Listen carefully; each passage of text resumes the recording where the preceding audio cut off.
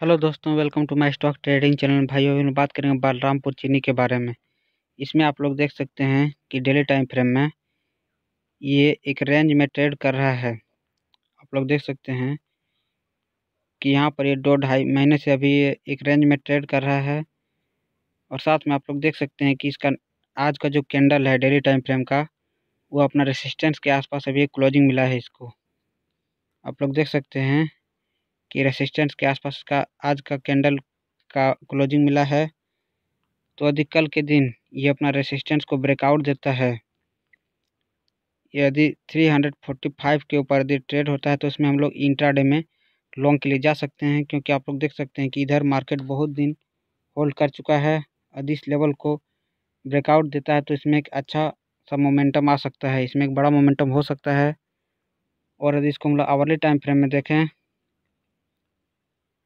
तो आप लोग यहाँ पे देख सकते हैं कि मार्केट यहाँ से स्लो एंड स्टडी अभी ये कंटिन्यू अप साइड की ओर अभी मूव कर रहा है।